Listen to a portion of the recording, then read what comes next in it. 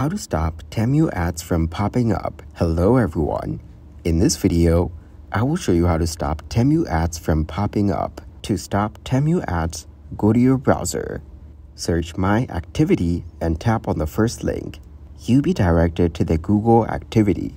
Tap on the three lines and go to the Activity Control. Scroll down and type My Ad Center and Personalized Ads. You need to turn on the Personalized Ads option. You can turn off the option as well and tap the Got It button.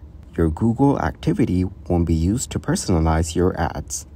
Go to Settings and search Ad in the search bar. Tap on the Advertising option and in Apple Advertising, you can turn on the Personalized Ads button. Thank you guys for watching this video. Hope you got some value.